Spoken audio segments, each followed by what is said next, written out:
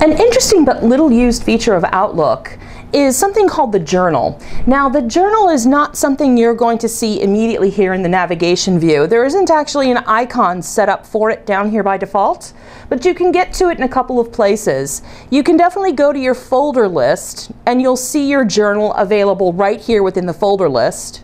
You can also, if the journal is something you wish to use, you can get to it by adding the button. So if I click on the drop down arrow at the very bottom of my navigation pane, I have the ability to go to add or remove buttons.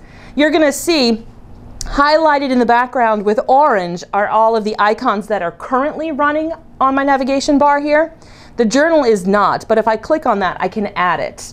So if you do intend on using the journal, it's probably a good idea to go ahead and add that button. So let me go ahead and take you into the journal so I can explain to you a little bit about what it does and then you can decide for yourself if it's something that's going to be helpful. So the first thing I'm going to get is a, is a little, um, not really a warning, but more of a statement. Basically, the journal is letting me know that it can automatically track Microsoft Office documents and email message associated with a contact.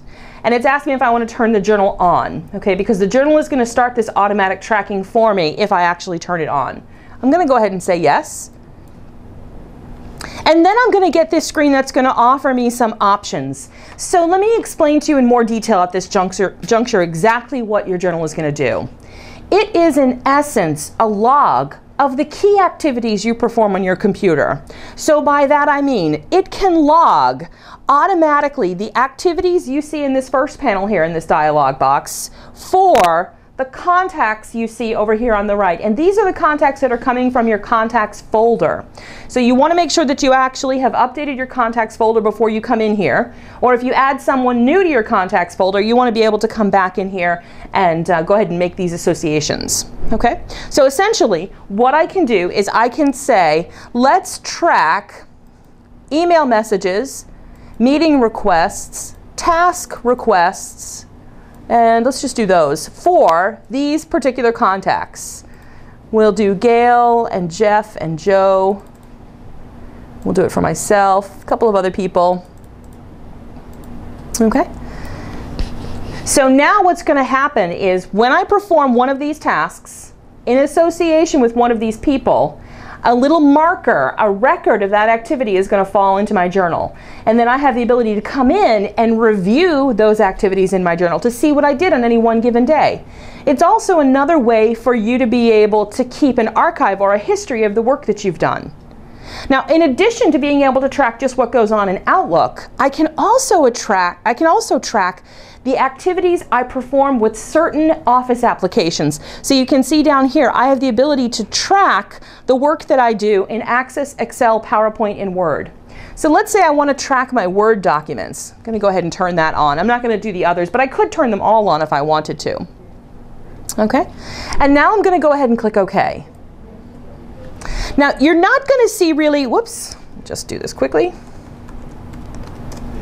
You're not going to actually see anything pop up.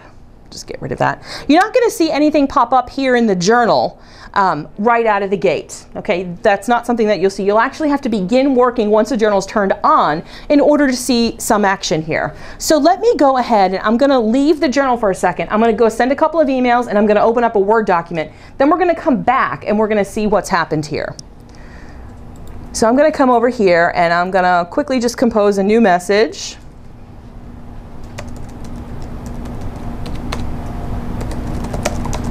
Okay, I'm not even going to put anything in it. I'm just going to send it quickly. We'll do another one. I'm going to send this to myself.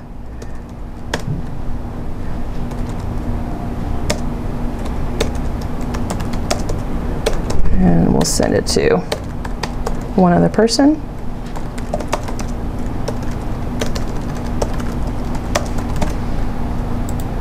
Okay, so I sent a couple of emails. Let me go ahead and I'm going to start Word. And I'm going to open up a open up something I worked on here before. Let's see here. Open up a simple document. We'll make a change. I'm going to go ahead and save this. And then I'm going to close it. Okay, so you saw I did a couple of actions. I sent a couple of emails. I went ahead and I opened up a Word document. I made some changes to it. Let's go see what happened here in my journal. So now, before we had nothing in the journal, but if you look now, you actually can see that here on today's date, okay, and it also is a timeline, so it's about midday right now. That's why you can see the activities are falling midway between the Tuesday and the Wednesday mark. You can see that here's the file. I'm going to just scroll a little bit this way so we can see it more clearly. You can see the file. It's going to give me the path and the file name for the document I worked on. And you can also see the actions that were performed here in association with these key contacts. I was able to send them a couple of messages and it tracked them here.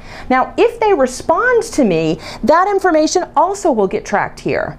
So hopefully you can begin to see the value of the journal in that it's going to basically show me a record of all of the activity that I did in one given day.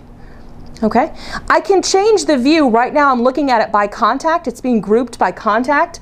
I could switch that to being grouped by type so that all of my mail messages and all of my office documents get grouped together. If I had tagged them with categories, we've already seen the benefit of categories. I'd be able to sort by category. None of these currently have categories associated with them. I can look at just a list. Okay, if, it, if, the, uh, if you've done a lot of actions in one given day, I don't know about you, but some days I send quite a lot of emails.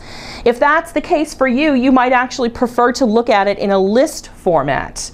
The list format's a little bit easier to read um, and it can allow you to hopefully get more quickly to one key piece of information. You can also just look at the last few days. Now, last seven days isn't going to make a big change for me here because I just turned on the journal. But if I'd had it on over the last week, I'd be able to pare down the list to only the information or the things that I've worked on over the last seven days.